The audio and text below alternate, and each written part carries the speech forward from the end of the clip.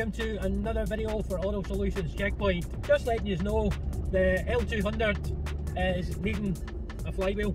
These Series 5 L200s have dual mass flywheels and looking in the picture, whenever I bought this L200 it wasn't that much of a rush, I kind of bought this one without checking it over properly and kind of overlooked. There's a wee bit of shake in the gear stick um, kind of overlooked that. I was aware and knew that the clutch felt funny. That was a way back 2021 when I bought this. Um, so flash forward until November last year. It was actually October. Um, I got this stuck when I was attending a recovery. Ended up putting the vehicle off the road and I couldn't get back out of the hole because it felt that the clutch was giving give away and wouldn't come out.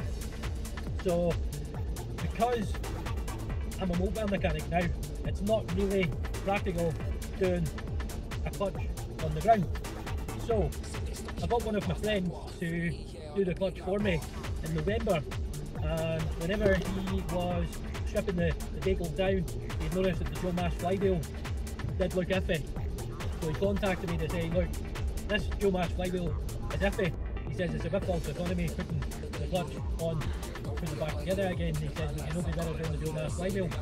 Well, in theory, yes, but as it was coming up to Christmas, it wasn't economically viable for me. You know, it's kind of weighing things up, making the kids happy, or getting my L200 tip top. And see, at the end of the day, no matter what, hands down, my kids come first. So I put it off and just lived with it. Now, see, to be honest, see from the clutch get done, I noticed no difference whatsoever in the L200, the feeling of the clutch or anything. I didn't notice a difference at all, and I just persevered with it. But it's just getting to the stage now, and it's doing my absolute head in.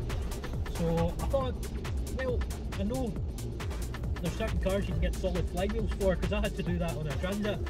Um, like I got the solid flywheel conversion kit. Now I couldn't seem to find the solid flywheel conversion kit anywhere, but I'd used Milner off-roading several times, but I didn't think of them for the clutch. And I'm so glad I did, because they done a solid flywheel conversion kit. Now, for a dual mass flywheel, the reason why I didn't get it before, you're talking the guts of nearly £1,200 for a dual mass flywheel. And that is a big dig just before Christmas. So I'm fairly justified in not getting that done because at the end of the day I've managed to get up until now from November and it's now July you know, um, nearly, it's actually the 11th of July now, so I've managed to get all that time out of that dual mass flywheel.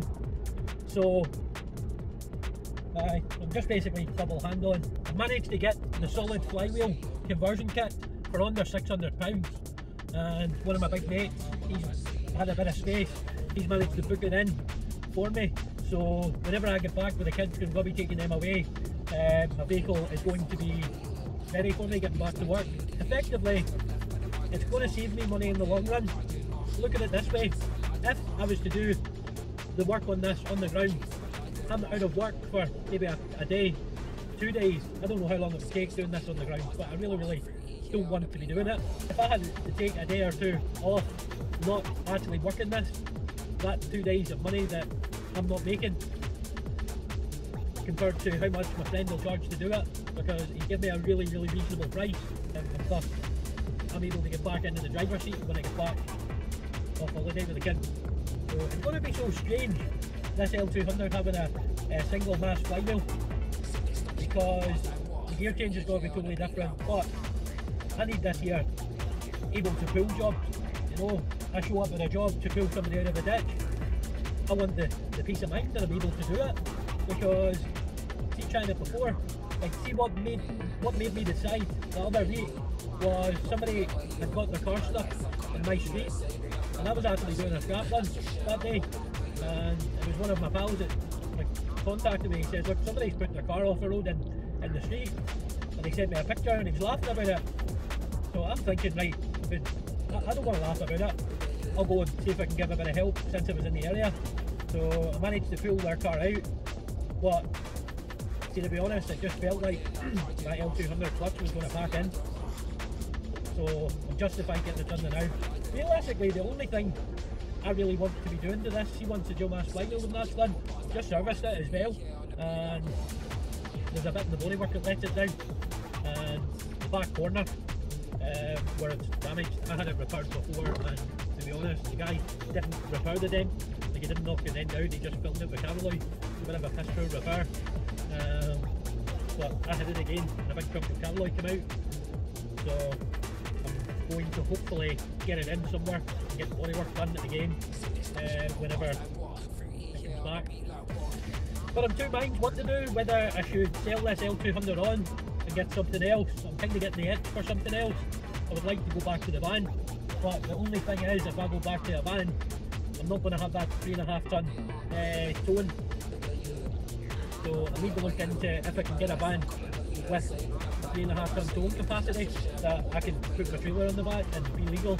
Not sure if the jumbo transit you can have a three and a half ton towing limit, but we'll see what happens. But anyway, I thought I would just keep you updated, let you know what's happening. It's not a proactive episode, but just keep you updated with what's going on. Anyway, you guys take care and I'll catch you in the next video. 10 over and out.